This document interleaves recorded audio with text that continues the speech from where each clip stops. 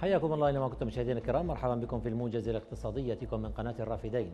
قال عضو اللجنة المالية النيابية جمال كوجر إن الحكومة ما عاد لها أي عذر لعدم إرسال مشروع قانون الموازنة المالية لعام 2023. وأوضح كوجر أن حكومة السودان أخذت الوقت اللازم لإعداد مشروع قانون الموازنة بالإضافة إلى أن حكومة الكاظمي سبق وأن أعدت مشروع القانون لكن حكومة السودان أجرت بعض التغييرات البسيطة في المسودة مضيفا أنه في حالة إرسال مشروع قانون الموازنة خلال عطلة مجلس النواب فإنه من المفترض أن يعلق الأخير عطلته للمباشرة بالمصادقة على الموازنة.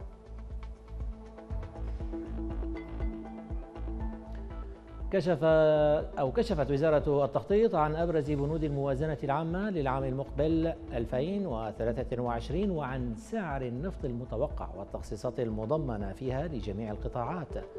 وقالت الوزارة إنها وضعت أكثر من سعر لبرميل النفط في الموازنة العامة لعام 2023 بالاتفاق بين وزارات النفط والمالية والتخطيط والبنك المركزي يبدأ من 65 ويصل إلى 75 دولارا. مضيفة أن هذا السعر سيبقى متغيرا حتى لحظة الحسم بدلا من تقديم الموازنة بعجز كبير. أعلن الأردن أن العراق أصبح رابع أكبر مستورد للمنتجات الصناعية الأردنية خلال الأشهر الأحد عشر الماضية من العام الحالي. وقالت غرفة صناعة عمان إن الهند وأمريكا والسعودية والعراق استحوذت على أكثر من نصف صادرات غرفة صناعة عمان خلال 11 شهرا الماضية. ويستورد العراق معظم السلع والبضائع من دول الجوار وخاصة تركيا وإيران بعدما كان الأردن سوقا كبيرة للعراق في فترة التسعينيات من القرن الماضي. سجلت الليرة السورية تدهورا قياسيا جديدا في السوق السوداء لتتخطى عتبة ستة ألاف ليرة مقابل الدولار الواحد. انهيار الليرة يأتي بالتزامن مع تفاقم أزمة المحروقات التي تشهدها البلاد بالإضافة إلى أزمة أو إضافة إلى الأزمة الاقتصادية الخانقة التي ترافقت مع ارتفاع أسعار المواد الأساسية وانقطاع شبه دائم للتيار الكهربائي.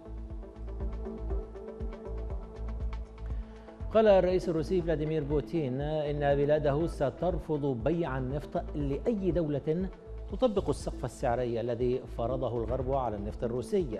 وأضاف بوتين أن بلاده قد تلجأ إلى تخفيض الإنتاج إذا لزم الأمر. في خطوة تعتبر ردا على اتفاق مجموعة الدول السبع الكبرى والاتحاد الأوروبي وأستراليا الأسبوع الماضي على فرض سقف سعري على النفط الروسي المنقول بحرا. يبلغ 60 دولارا للبرميل الواحد. والآن هذه انتقالة سريعة مشاهدينا الكرام إلى أسعار صرف العملات الأجنبية وأسعار المعادن.